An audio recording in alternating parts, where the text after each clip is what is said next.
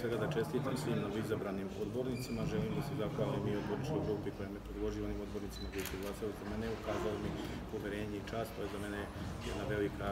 čast i odgovornost da u narednom periodu obavljam dužnost predsednika Skupštine grada i nadam se u saradnju svih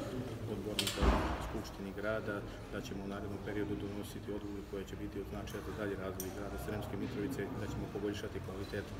života građana u Sremskoj Mitrovici što nam je svakako svima i cilj.